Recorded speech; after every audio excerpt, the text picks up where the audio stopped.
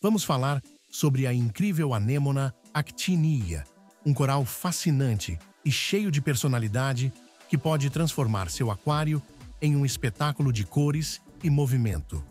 A actinia é classificada como um coral soft, ou seja, ela possui um tecido mole, sem esqueleto calcário rígido, originária principalmente do Oceano Atlântico e do Mar Mediterrâneo. Essa anêmona é conhecida por sua incrível capacidade de adaptação e por seu visual cativante, com tentáculos longos e coloridos que se movem suavemente com a corrente.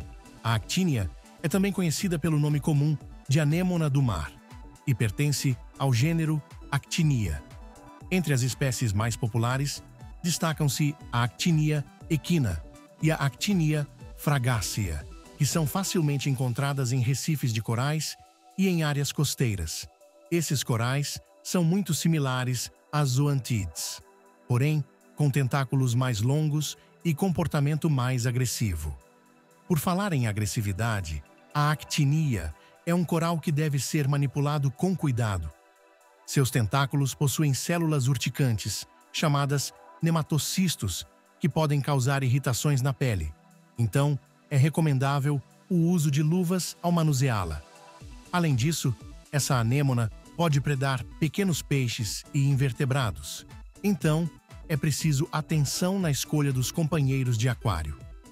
Em relação à iluminação, a actinia prefere luz moderada a intensa, dependendo da espécie e da profundidade em que foi coletada. A alimentação pode incluir desde fotossíntese, realizada pelas zooxantelas que vivem em simbiose com a anêmona, até alimentação direta, com pequenos pedaços de peixe, camarão ou ração específica para corais. A circulação de água deve ser moderada, permitindo que os tentáculos se movimentem livremente, mas sem serem agitados excessivamente. No aquário, a actinia deve ser posicionada no meio ou no fundo, em áreas onde possa se fixar adequadamente. Os parâmetros da água ideais incluem pH entre 8,1 e 8,4, DKH entre 8 e 12, cálcio entre 400 e 450 ppm e magnésio entre 1200 e 1300 ppm.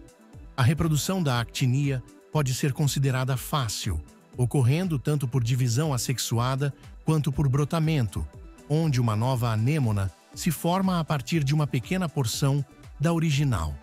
Para incentivar o crescimento rápido, é essencial manter a qualidade da água estável e garantir uma nutrição adequada, além de proporcionar um ambiente seguro, livre de predadores e competição excessiva por espaço. Se você está procurando adicionar um toque de vida e movimento ao seu aquário, a anêmona actinia é uma excelente escolha. Mas lembre-se, como qualquer ser vivo, ela requer cuidados específicos e atenção para prosperar. Com as condições corretas, essa anêmona pode se tornar o destaque do seu recife, encantando todos que a observam.